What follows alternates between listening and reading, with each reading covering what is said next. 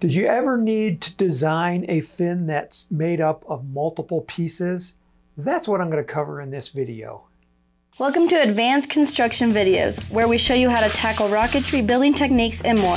On our website, we sell kits, motors, building supplies, and electronics. So come and learn, shop, build, and fly when you visit us at apogeerockets.com. Hi, I'm Tim Van Milligan from Apogee Components. Today I'm going to discuss the reasons why you might want to make a multi-piece fin and then how you might design it.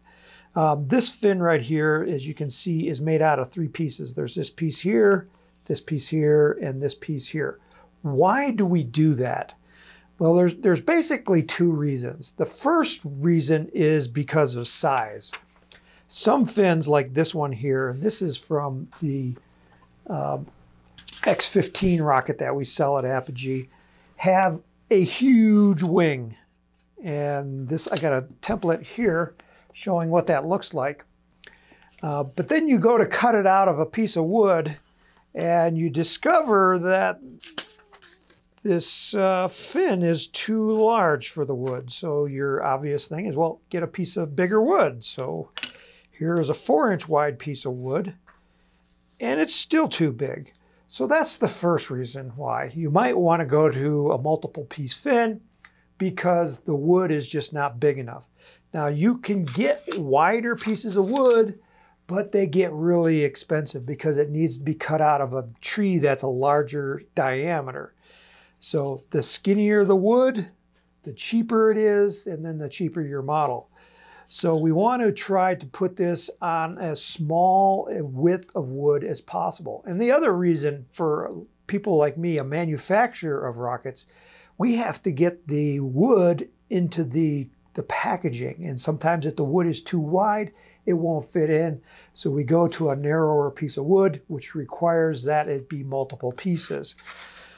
Um, so the first thing you need to do when you design a a, a, fin like this is to decide which way the grain direction of the wood is going to go.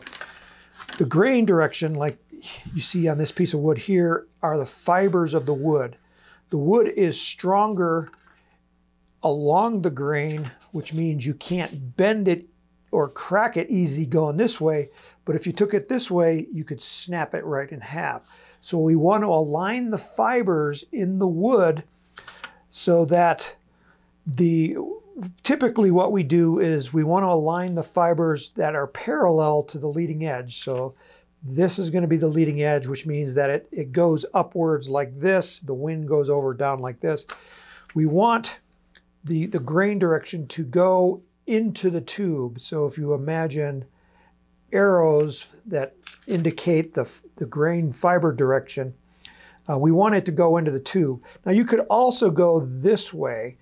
But at that point, um, you might run into some problems later depending on the shape of your fin.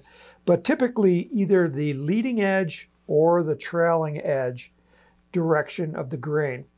So on this one right here, if this is the, the leading edge, I would lay it on the wood like this and then see where it uh, hangs off the edge of the wood. So, you know, ideally I could cut it here and here but that's kind of like two little pieces. And, and this would actually work, actually.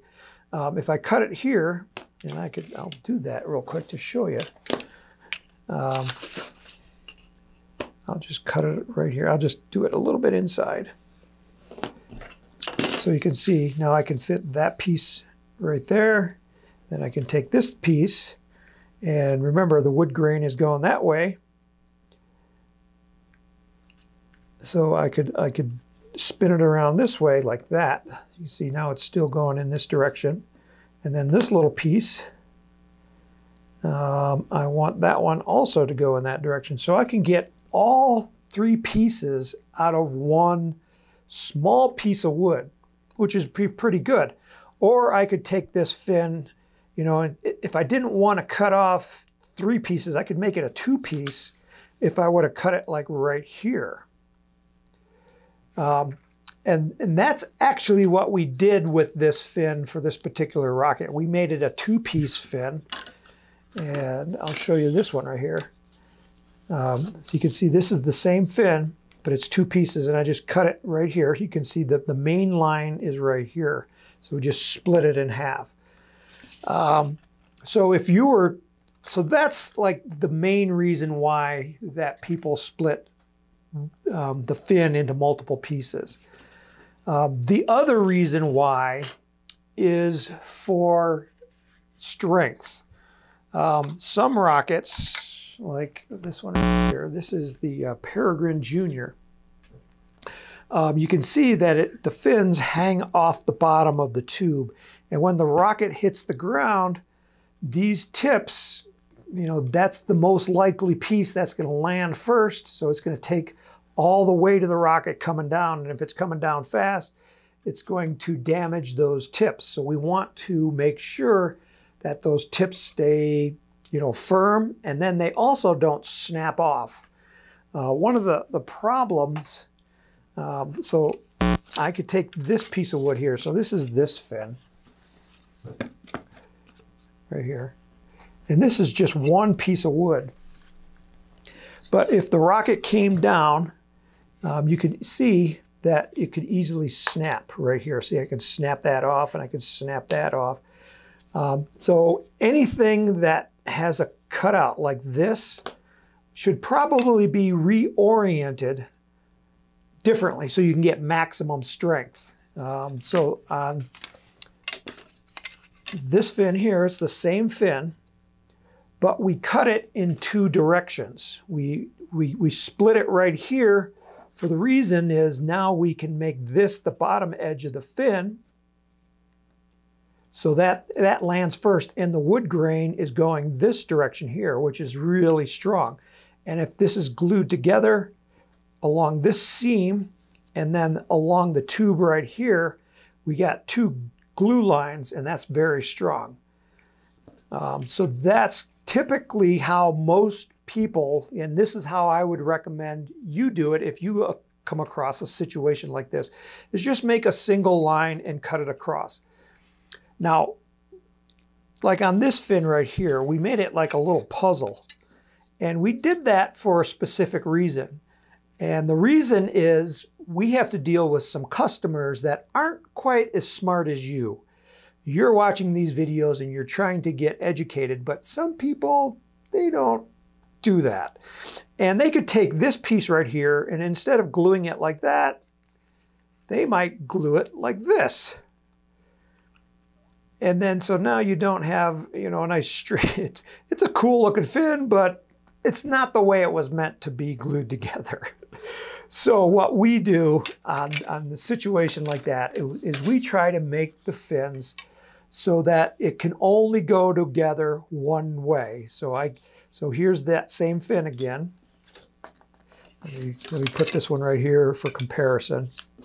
So that's the way it should go together. Uh, we want the grain on the tip to be going vertically.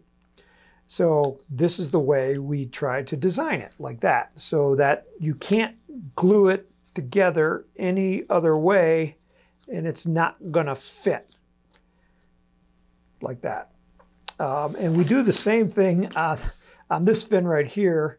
Um, like these tabs right here can only go together one way, you know, so if you try to put it together this way, this tab is too big to go into that little jaw right there.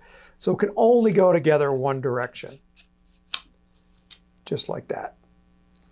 So, um, and then this one right here is the same way. Um, it can only go together one way so that we make sure that our customers can put our rocket kits together. Um, so that is how we design a multiple piece, piece fin. So I'm going to do another video about how do you assemble these so that they're nice and flat because that's the big issue when putting together a multiple piece fin is sometimes the pieces they don't they don't line up, you know, so you you can get one that hangs over the edge a little bit, you know, I'm exaggerating here, but you get the point, you know, if, if they're both not the same thickness, each surface is it could be like a little step and we don't want that because it's ugly and it creates more drag and it causes other issues. Um, particularly like this one right here. Um, if one was higher than the other, we would sand them down, but then all of a sudden um, this becomes really thin and this one has to go in a slot because it's a through the wall fin. And now the thickness of the fin is much narrower than the slot that it has to go into. So it just slops around a lot. Um, and we don't want that. So I'm going to show you in that video how to put these together to minimize the chances that your fins aren't, you know, smooth on both surfaces. So my name is Tim Van Milligan. Uh, may the winds be light, may the skies be blue, and may all your rockets fly straight and true.